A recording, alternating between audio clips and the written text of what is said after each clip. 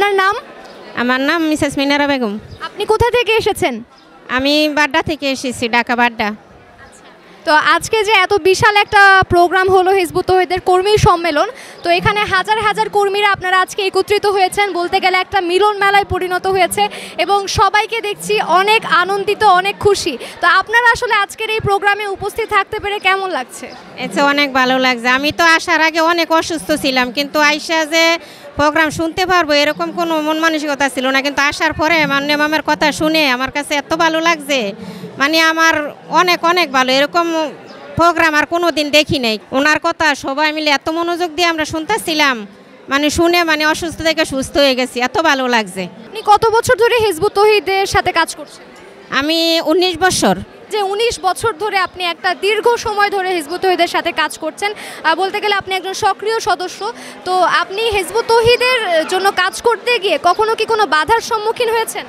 হ্যাঁ আমার ঘরেই আমি বাধার সম্মুখীন হয়েছি বাইরেও হয়েছি তবে এরকম কিছু না। আমার ঘরে আমার হাজব্যান্ড দশ বছর আন্দোলনে আসে নাই, কিন্তু ওনার দ্বারা আমি অনেক অনেক অনেক নির্যাতন হয়েছি মানে আমার দশ বছর পরে উনি বুঝছেন যে আসলে না, উনি একবারে দেখা শুইনা বুঝা পইরা, তারপরে যখন বুঝতে পারছেন যে না, আসলে দুনিয়াতে এটাই সত্য, আর এই জন্যই আমার সৃষ্টি। এই, তারপরে উনি যখন বুঝছেন, তখন আর আমার এখন অশান্তি করে না। এখন আমার ঘরেই জান্নাত। এখন আমার কোনো কাজে কোনো বাধা দেয় না কোনো কাজে কোনো কিছু করে না আমার আরও অনেক সহযোগিতা করে। বাইরে আন্দোলনের কাজ করার জন্য অনেক সহযোগিতা করে এখন আমার আর কোনো অশান্তি নেই। এতদিন আমি অনেক নির্যাতিত হয়েছি ঘরে। আপনার কাছে আরেকটা প্রশ্ন হচ্ছে যে আহ, তহিদে আসার আগে এবং হেজবুত তহিদে আসার পরে আপনি কি কি পরিবর্তন নিজের মধ্যে দেখতে পান?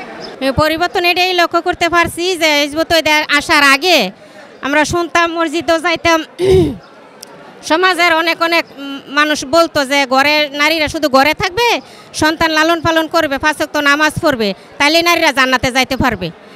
তখন নামাজ পড়তাম, যত কিছুই করতাম, কিন্তু দেখতাম যে সমাজে তো অশান্তির কোনো শেষ নাই, পরিবারের মধ্যে অশান্তি কোনো শেষ নাই, আমি ঘরে তো কোনো শান্তি পাই না, আমার পরিবারের মধ্যে অশান্তি। যখন আমি হিজবত ঈদে আসলাম হিজবত ঈদে আসার পরে যখন আমি জানতে পারলাম, প্রকৃত সত্য যে না, নারীরা শুধু ঘরে থাকবে না, নারীদের প্রজ্ঞা আছে, নারীদের মেধা আছে নারীরা সব কিছু করতে পারে। নারীরা যেমন ঘরের সহযোগিতা করতে পারে ঘরে সংসার করতে পারে সন্তান লালন পালন করতে পারে এরকম নারীরা বাহিরেও আল্লাহর দিনের জন্য অনেক ভূমিকা রাখতে পারে।